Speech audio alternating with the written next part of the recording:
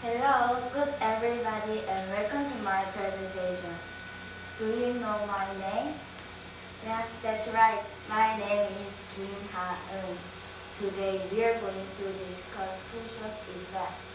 First, push-ups help children ages 6 to 18 highly uh, 18.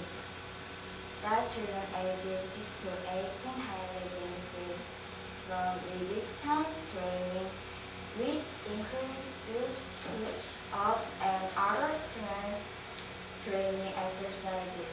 According to each website, these exercises are used for since they activate the child's nervous system which controls action and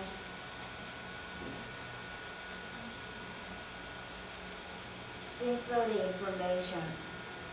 Additionally, they can also help children to sleep better and release their stress.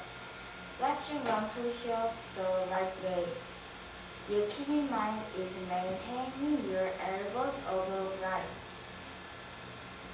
The end. It's very simple.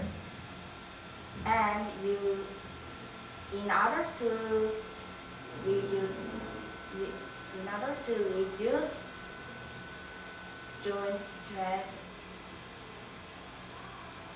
to keep your hands pointing outwards at around 40 degrees.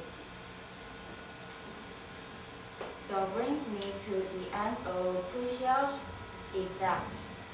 Thank you for paying attention. Goodbye.